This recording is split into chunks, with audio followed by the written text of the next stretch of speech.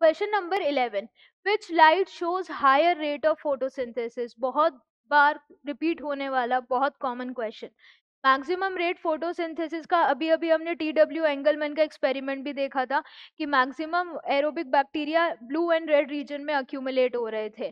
तो maximum light भी वही वाली एब्जॉर्ब हो रही थी एंड उसमें ही रेट ऑफ़ फोटोसिंथेसिस भी ज़्यादा हो रहा था।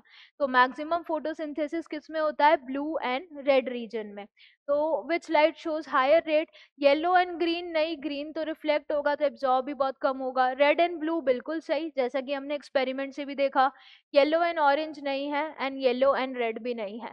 तो maximum photosynthesis blue and red में हो रहा है, जिसमें क्लोरोफिल ए और बी मॉलिक्यूल्स या बाकी पिगमेंट्स जो हैं रेड लाइट को एंड ब्लू लाइट को मैक्सिमम एब्जॉर्ब करके rate of photosynthesis maximum show कर रहे हैं।